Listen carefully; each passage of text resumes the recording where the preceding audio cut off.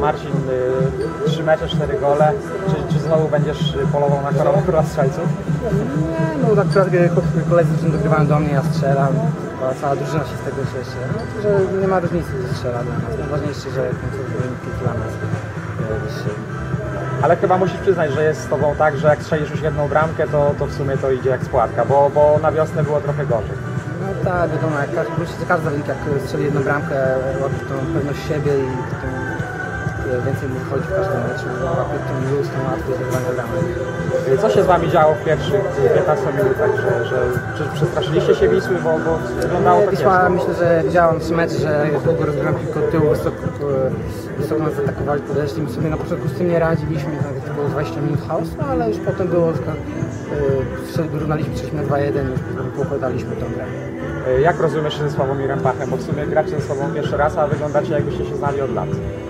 Dobrze układa się z Piotrek, który na środku, dobrze się nam w trójkę gra, układa ale e, stoi z tyłu bardziej, ustawia nas i biegamy. Myślę, że wygląda to dobrze, widać to po wynikach. Dzięki i powodzenia dalej.